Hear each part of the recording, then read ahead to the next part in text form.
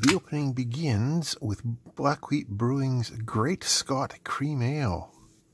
With a name like that, I was expecting something a little bit different color. They describe it as having a deliciously refreshing cream ale smooth body with a slightly hop finish and with just a hint of biscuit nutty flavor. That's not bad, not quite as malty as I was expecting, but pretty good nonetheless. So the first mail item in says cable. So let's just see if that's what that really is. Is I'll try not to cut through it because that would be bad. It is a cable. Oh, it's just a USB-C to USB-C cable. All right, just a short little charging cable. So I'm assuming I got that to work with this uh, little USB tester, which has USB-C in, and then this USB-C charger that I got a while ago. That is a short cable, so it won't have a lot of losses in it. And it is a thicker cable than your standard charging cable. I don't know, can you see that? Yeah. So hopefully that will be a decent cable for uh, for testing with this USB tester when I have something that needs testing. USB-C to Type-C charger cable, 3 amp PD, quick fast charging lead for Samsung, Google, etc., etc. I got the 0.25 meter one. There's a bunch of other ones there. Cost me $2.50 Canadian with free shipping. I mean, nothing too exciting or earth shattering. It's just a USB cable, and it looked like it uh, would be a fairly thick one. So, like so many things, when I've uh, changed standards or are moving forward with uh, with standards on things, I try to stock up on a variety of uh, bits and pieces, just so that I'll have them when I need them. I mean, it's nothing too shocking. I probably could have bought it locally, but it would have been a lot more because, oh, USB C is the new hotness. Next in, we have Transistor, it says. Interesting. The last one and this one were both shipped from the UK, even though I'm pretty confident that I haven't been buying things from UK sellers. So there's probably a, a drop shipping warehouse there that these Chinese sellers are using. Big says TIP31C TO220. So these are some sort of power transistor. Can't remember based off the part number. Let's just see if we can figure it out before we look it up. That should be fun. Actually, it won't be too hard using the correct tool for the job, which is, of course, the cheap transistor and other component tester. These things seem cheesy, but it really is a handy thing. These are NPN transistors. Okay, uh, just a just a higher current NPN transistor. 20 pieces TIP 31C TO220 uh, TIP 31 NPN power transistors. Got these from IC Market. Was not in the UK. They are in Shenzhen, just like everybody else. Uh, currently, they're selling for 438 with uh, 314 Canadian shipping which is uh, 349 American and 250. But as you can see, when I bought them, they were $2.99 American and a buck 50 shipping. So they've gone up considerably since then. Let's see just what these guys are. They're not the most modern of part. They're probably, uh, yeah, this data sheet's from 2006, but they're probably an older design than that. So they're capable of 100 volts across the base emitter or the collector emitter junction. And the important thing is the current handling, which is up to 3 amps collector current running or 5 amps peak, but peak is uh, short term. So the reason that I got these, you may remember a few months back, I was tinkering with an NPN transistor based constant current circuit. And at the time, the only uh, standard transistors, standard NPN transistors that I had kicking around were low power ones which are good for what 300 to 500 milliamps, something like that. So I figured if I wanted to drive a bigger LED with it, I should get some bigger uh, transistors. Next, Ian, what does this say? It's a plastic sheet. Oh boy, I haven't had something that lies and tells me it's a plastic sheet for a long time. Any bets? Any bets? It is an LED display. It is probably one of those LED voltmeters and it looks like it is just judging by that uh, what is that uh, 33 330 nanofarad capacitor that is probably a little voltmeter with a capacitive dropper on it. Further evidence is the power inputs are marked alive and neutral and they go straight to a full bridge rectifier. So that is probably one of the other ones that I ordered when I ordered those little round ones that I did the video on a, a week or two ago. Um, link up there as usual. Um, so we'll have to uh, play with that and see if it works any better than those ones do. 0.56 LED voltmeter digital panel meter AC 70 to 500 volts DC 30 volts slash bunch of different voltages. Yeah, yeah, okay. Bunch of things. Um, they claim it's good between 70 and 500 volts AC. I paid $1.88 US back when I bought it. However, the seller that I bought it from seems to have dropped off the face of the earth, so I can't link you to their listing of it. Fortunately, a whole bunch of other people sell it, so I will link you to this search. Meanwhile, to see what it actually is, I'll go into somebody else's listing for exactly the same thing and see what it has to say. So it looks like it's going to be not too much different than those other ones that I bought. They claim it runs from 70 volts and up, uh, plus or minus 1 error, 1 meg input impedance, 300 millisecond uh, display refresh, and dimensions, and blah, blah, blah. Okay, that's nice. It has a calibration pot on it. I think I'd be wanting to use my insulated uh, screwdrivers for that adjustment though. But that puts it uh, a little bit above the other ones. So maybe this one will be better. Maybe it'll work better at low voltages. Who knows? We'll have to see. I think we've got time for a quick janky test setup. So the power bar is plugged into the output of the Variac. Uh, these meters are both plugged into the power bar. This guy says 115. That guy says 119. Let's crank this to the max. 144, 140. Uh, as usual, this one's not flickery to me, but it's probably being Charlieplex the same as the other one is. I'm not going to stick my fingers in there to look around. Not yet. Uh, let's turn this down. Let's see where this thing gets too dim to see.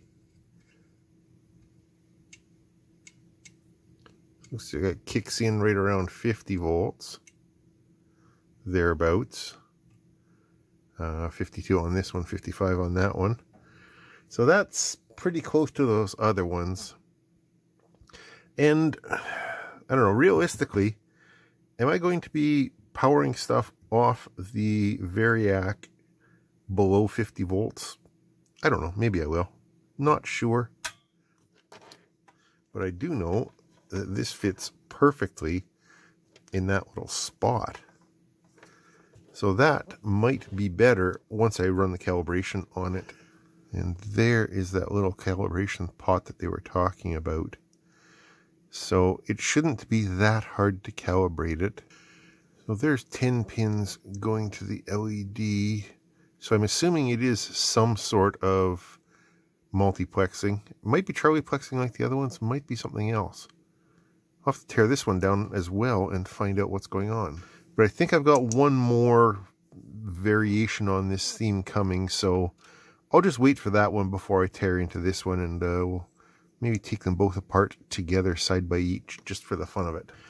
Hey, the third thing in, this one says it is a development board. Sure, that's quite likely something that I might buy, but then again, that last one wasn't a plastic sheet, so... Ah, it's five of them. And they are this. They are 16-bit I squared C ADC plus PGA. Ah, analog to digital converter. Okay. Probably, I think. Uh, looks like uh, ADS 1115. I expect that's probably the little chip there.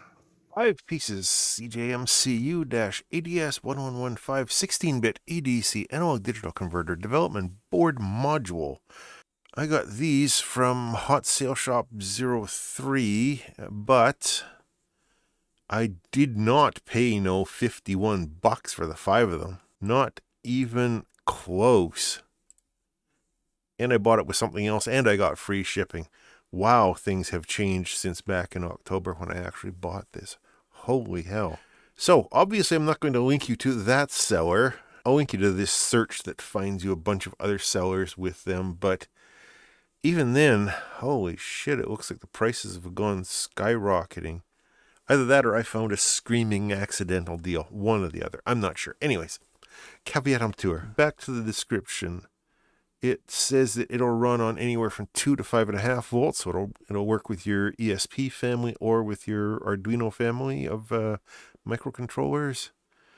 Really low current consumption, programmable data rate, internal oscillator. It's got a PGA, a programmable gate array inside it which I assume is switching in and out various voltage dividers to allow it to measure the voltage. There's a certain amount of bad translation and bullshit down here, so I think we probably should go off and see if we can find a data sheet for this one.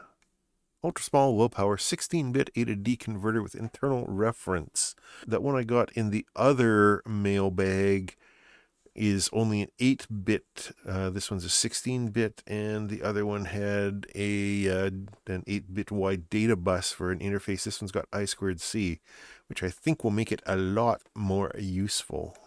And it has either two differential inputs, so it can measure the difference between those two inputs, or you can run it as four single-ended, so reference to ground inputs that could come in really handy for chips that don't have uh, a lot of analog inputs on them.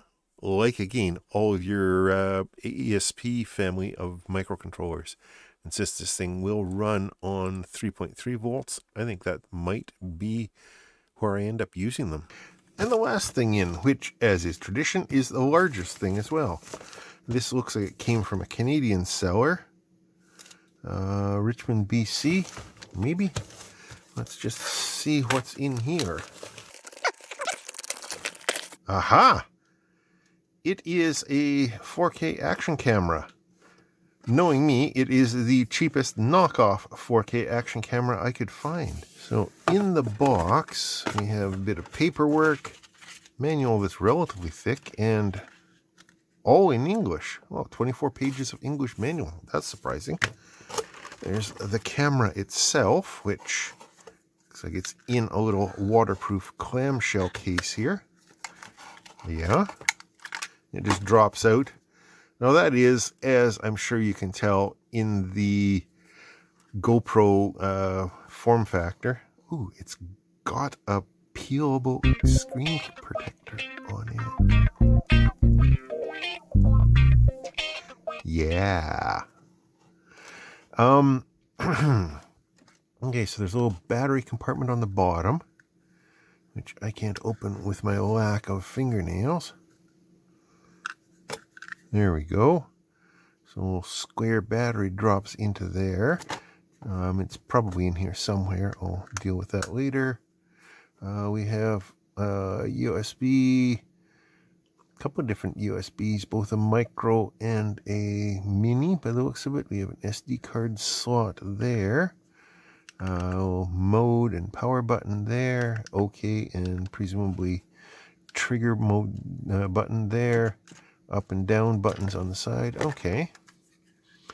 Um, as is common with this type of camera. Ooh, that fits on there really snug too. That's good uh, what was I saying? As is common with this type of camera, it's got that mount on it, and the mounting happens only with the case on it, which also has a little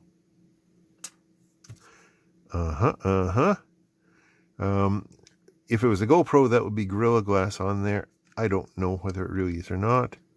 Buttons have little pass-throughs. Nice, nice, nice. Okay. Let's dig further into the box. Oh, batteries by the looks of it. They claim to be 1,050 milliamp hours each. And then we've got what looks like an accessories box here. Dump all the... Wow! That's a lot of swag. Obviously, I paid for it. It's not freebies, but... Uh, lens tissue, replacement back for the case. Um, lav mic. But that's not a 3.5 millimeter. That's a 2 millimeter, I think. 2.37 or 2.4 millimeter, whatever that is. Is that a standard? Well, it's a standard. It's not the most standard, but at least it's not some weird proprietary thing that they invented, I don't think. Uh, we have a replacement for this knob. We have some strappage. We have a different kind of mount thing. We have some zip ties. We have, looks like, little adhesive things and a safety little piece of cheap aircraft style cable. We have what looks like a couple of tripod mount pieces.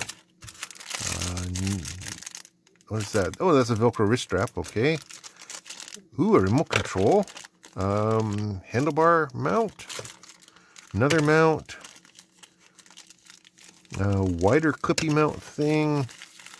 Uh, another type of tripod mount. Oh, hey. And that one just clamps onto the camera directly without the case. And then tripod mounts. All right. Uh, another kind of mount. Did I look at that one already? Um, wow. Okay. All kinds of different bits and pieces. And a USB cable. So I'm not 100% sure if how much lying they're doing about the 4K on there. Um, shows a bunch of the different accessory things and stuff for mounting it on a bunch of things up to 64 gig uh, SD card. I'll have to uh, I'll have to go through this. Uh, does it deserve its own review and independent video, just to see if it is what it claims to be? See if it's you know any good at all, or if it's complete junk. I don't know. Uh, comment down below. Anyways, let's go and see what I paid for this and where I got it from and all that good stuff. Campark 4K UHD action camera. Wi-Fi 20 megapixel sports cam camcorder plus microphone. Wi-Fi. Oh, I didn't notice that on the box. Got this from Dodot Tomorrow, Dodot Tomorrow, Dodo Tomorrow, something like that. Um, and they are actually a Canadian seller from Vancouver. Neat. Currently, they're selling it for $56.99, but as with everything, this listing has been updated, but you can see the item that you purchased, which was $51.29, so it's gone up by about six bucks. What does it have for modes? It has 30 FPS 4K, 30 FPS 1080, 60 FPS 1080, or 30 frames. What? 4K 30 FPS? Oh, 2.7K 30, 1080 60, or 1080 30. Okay. Uh, can do time lapse, loop recording, slow mo, all that good stuff. Sure. It's uh, with the case, it's good to 40 meters underwater. Sure, whatever. Okay. Uh, SD cards up to 64 gigs. It said that in the manual too. That's a little small for recording 4K 30 or 1080 60, isn't it? Yeah, charger not included. You can charge the battery directly in the camera. Damn it. Oh well, that's uh, that's something. And they're just lithium ion batteries. I got lots of lithium ion battery chargers around here. I just have to come up with uh, some a mechanical solution, I guess. Oh, it says it can do 20 megapixel photos. Okay, sure. Uh, it has anti-shaking, which I assume is stability. It has remote control and Wi-Fi. That could come in handy. External microphone, sure. A bunch of accessories. Yeah, yeah, we've seen all that. 170 degree HD wide angle lens. So, yeah, that is a lot wider than a standard camera lens, but that is pretty common for all of these action cameras. Well, that was an interesting mailbag, as often is the case. From the most mundane to something kind of exciting, like this little camera here. Um, let's quickly go over shipping times. These transistors took 19 days. This LED voltmeter here took 32 days to get here. The USB-C cable took 40 days. These five analog to digital converters took 20 days. And the camera, because it came from BC within Canada, only took 14 days. It's recording just straight into the, the uh, computer on USB. It's acting like a webcam, and I think that looks pretty good. That's a pretty good view of the workbench. Hello. Actually, the leg's not bad either. Even running through the USB, that's pretty much live. Hmm. No, nobody wants to see me do a live stream. Get those ideas out of your mind. Uh, anyways, um, thanks everybody for watching. Thanks, as always, to my Patreon supporters and my YouTube channel members for kicking a few bucks into the kitty and letting me uh, keep these mailbags rolling in. And also letting me keep my uh, beer fridge full and letting me try these interesting beers all the time. I do appreciate that. Uh, any questions or comments, as usual, down in the comment section. If you want to see me do a deeper dive on any of this stuff, and I'm probably going to do it anyways, I'm, I'm going to spend some time with the camera. I'm, when I get another uh, version of that in, I'm probably going to do a deeper dive on those two. Um, I probably will play with these. Uh, well, I'm, I'm, sure I will play with them, but uh, if you want to see me do it on camera, let me know. And this, like I said, is for messing around with higher current, uh, brighter LEDs. Thanks for watching, everyone. I will talk to you later.